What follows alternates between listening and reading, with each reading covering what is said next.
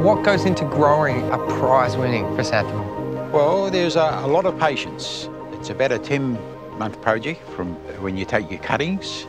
You can go from a, an ordinary little garden chrysanthemum and reproduce it in this form from the same bush.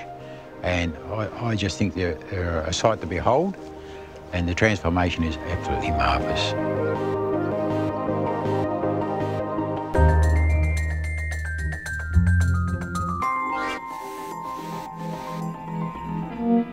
So how many varieties do you grow?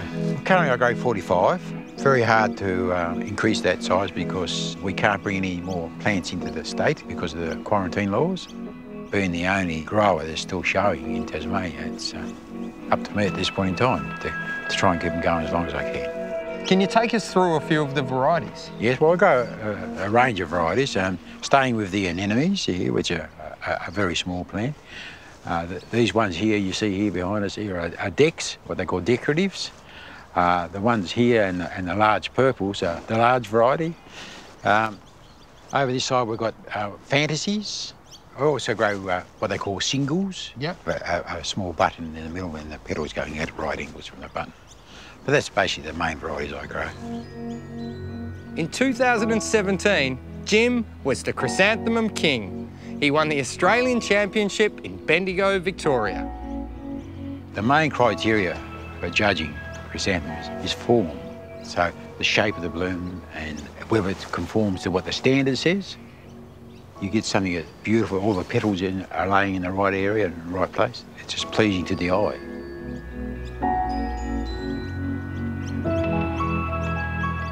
What do you have to do to grow a champion chrysanthemum? Jim's got the answers. So what's the difference between these plants here and the ones growing in your shade house? Well, the plants I've got in the shade house are, are, are cultured, whereas these ones uh, haven't been cultured. But they're the exact same plants? Exactly the same plant. Now, I want to grow Chrissy's. Where do I start? Well, you really need an ideal climate that has cool nights because that is uh, develops your buds better. Well, that's what we've got here. We sure have. Once the flowers are finished flowering, I cut them down to about eight or nine inches and fertilise them quite heavily, keep them watered and, and try and promote new sucker growth from the ground. It's from those suckers we prefer to take our cuttings because it minimises the risk of uh, soil-borne diseases getting into your plants. We then transfer them into tubes. I use half potting soil and half coarse sand for drainage. A little rooting powder, yes. Then just, we need to water it in. As the plants grow, they go into bigger pots. And I bury the pots to keep the uh, potting soil cool during the day.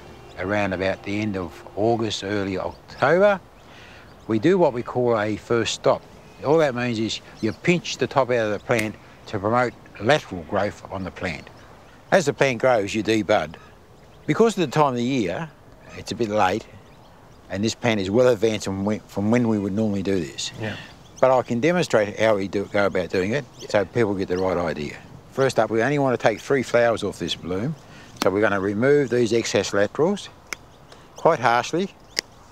So you're leaving this terminal one, yes. obviously the one with the strongest growth on One with the strongest growth. And I notice you've got sort of fours, five, sometimes sixes yes. per plant. Yes, depends on the variety. Now, we want to remove those buds. Now, this can be a bit tricky. What we want to keep is that main bud at the top.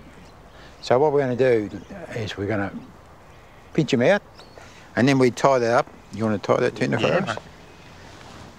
So we're left with one flower bud at the top of the lateral, each lateral. Now, back to the shade house.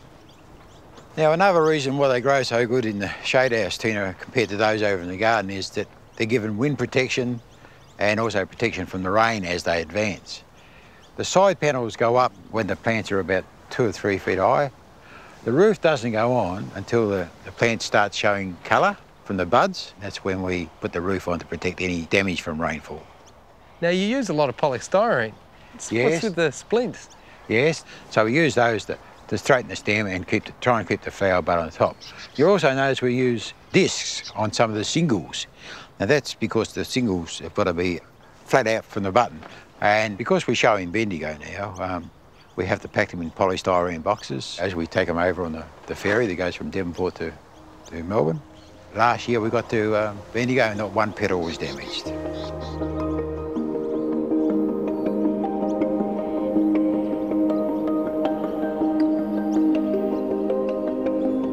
I think it's just something really pleasurable to do. Even when I was working, you come home from work, come down to the chrysanthemums after working, play around with these and all your worries of the day are gone.